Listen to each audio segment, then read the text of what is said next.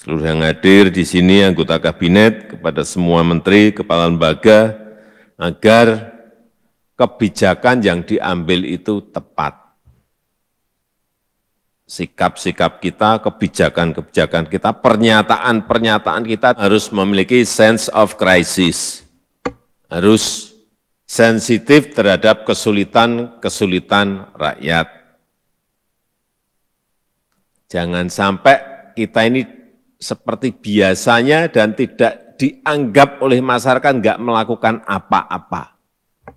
Tidak ada statement, tidak ada komunikasi, harga minyak goreng sudah empat bulan,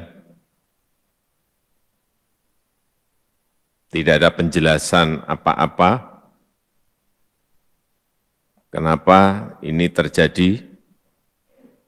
Yang kedua, pertama,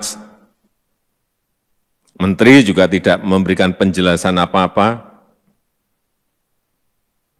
mengenai ini. Hati-hati. Kenapa pertama sih ceritain dong kepada rakyat, ada empati kita gitu loh. Enggak ada yang berkaitan dengan energi, enggak ada.